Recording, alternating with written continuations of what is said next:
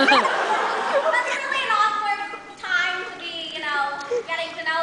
so I came back the next day, and he was eating a baby.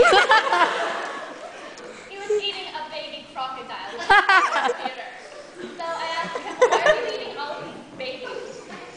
And he's all, because it's good for my nutritional system.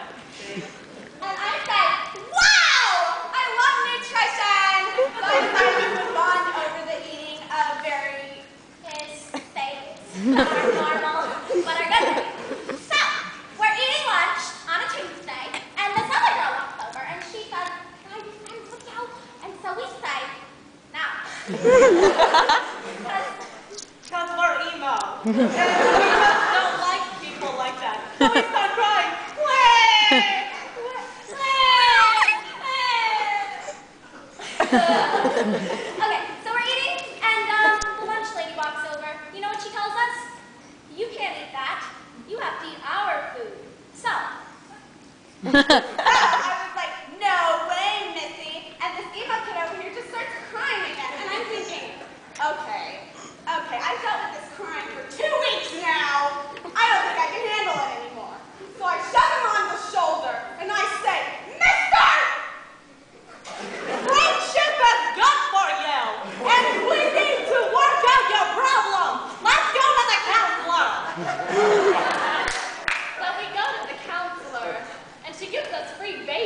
and see.